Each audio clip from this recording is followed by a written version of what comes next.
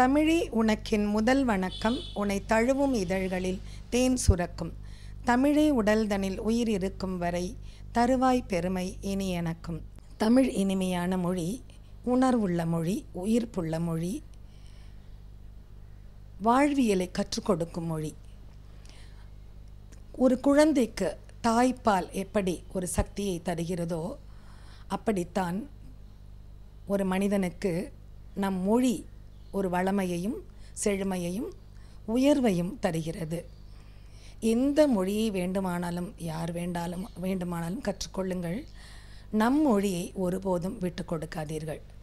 எம்மொழியும் கற்றுக்கொள் தாய்மொழியில் பற்றுக்கொள் என்பதுதான் எனது கொள்கை. தனித்தமிழ் தந்தை மறைமலை அடிகளாரின் கொள்ளு பெயர்த்தி நான். மொழிப்போர் தியாகி நீலாம்பிகை அம்மையாரின் பெயர்த்தி. எனது தந்தையார் உரையாசிரியர் புலியூர் கேசியன் சங்க இலக்கியங்கள் முழுவதையும் எளிமைப்படுத்தி மக்கள் மத்தியில் விதைத்து சென்றவர். அவர் இல்லை என்றால் இன்றைக்கு சங்க இலக்கியங்களை அவ்வளவு எளிதாக கற்பது கடினம். உலகம் முழுவதும் இன்றைக்கு அவரது நூல்கள் பேசப்படுகின்றன. ஒரு மக்கள் உரையாசிரியராக அவர் விளங்கி வருகிறார். இந்த குடும்பத்தில் பிறந்த ஒரே காரணம்தான் என்னையும் இந்த தமிழ் மீது காதல் கொள்ள வைத்தது.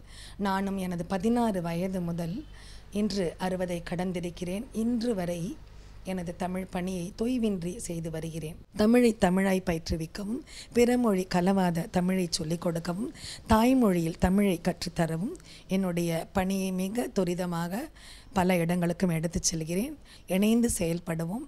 தமிழுக்கு ஒரு பாலமாக இருப்போம்.